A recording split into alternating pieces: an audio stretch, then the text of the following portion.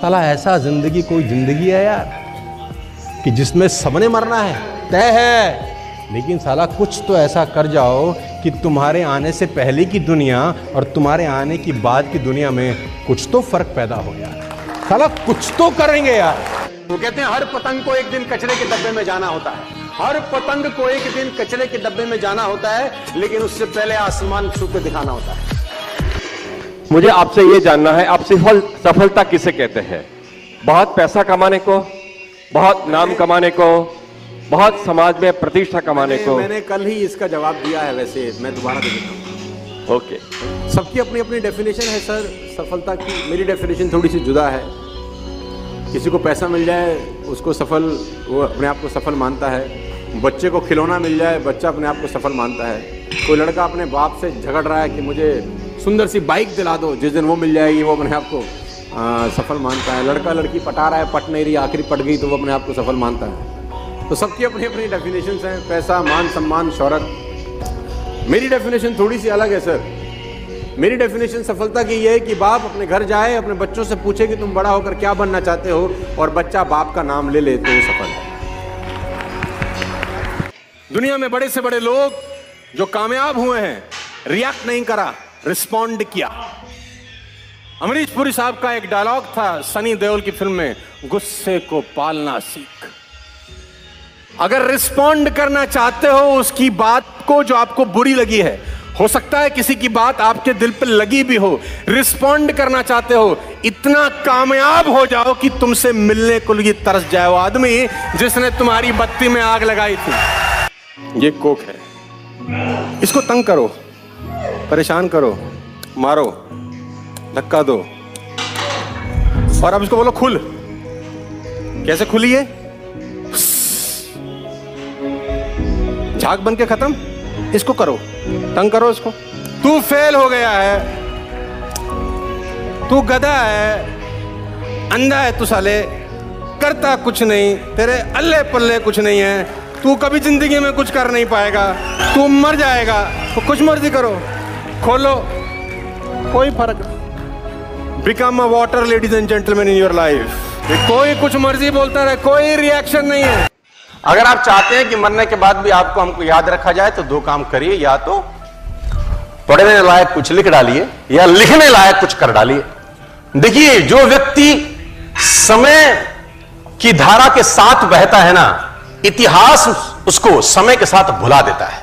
और जो व्यक्ति समय की धारा को मोड़ देता है, इतिहास में अमर हो जाता है। इस धरती पे कोई इंसान किसी एक काम को पूरे प्राणों से, पूरी आत्मा से कर लेवे। एक्सपोनेंशियल इतना विस्फोटक, इतना एक्सप्लोरर इतना ज़बरदस्त परिणाम आता है। जब वो कोई एक काम करता है, कोई एक चीज़ करता है, दुनिया की सबसे लंबी नदी का नाम क्या है? अमेजन नदी। उसका ओरिजिन बिंदु जहाँ से वो निकलती है वहाँ से एक एक बूंद गिरती है और एक बूंद और दूसरी बूंद के बीच में अंतर आठ सेकंड का रहता है। एक ड्रॉप गिरा, अब आठ सेकंड। फिर दूसरा ड्रॉप, तीसरा। और ये बूंदे जाके दुनिया की सबसे बड़ी अमेजन नदी बना रही है। क्लास में फेल हो गया जो लड़का। लेकिन क्रिकेट नहीं छोड़ा, क्योंकि उसकी एक चीज़, उसकी एक चीज़ इतनी खतरनाक थी, दुनिया हिला दिया रे। उसी महाराष्ट्र गवर्नमेंट ने जो बच्चा टेंथ क्लास में फेल हो गया था उस टेंथ क्लास की किताब में पहला चैप्टर ही सचिन तेंदुलकर का डालना पड़ गया। यह है एक चीज़। सही जवाब एक हज़ार रुपए जीत गया एक हज़ार रुपए जीत कर इतने खुश हो रहे हैं आप? सर मैंने पाँच सौ रुपये से बिज़नेस शुरू किया था और उसे दस करोड़ तक ले गया था। फिर सब खत्म हो गया। इस बार कम से कम हज़ार से तो शुरू करूँ। आप ही सोचिए कहाँ तक लेकर जाऊँ। क्या बात है विनय जी? क्या बात है?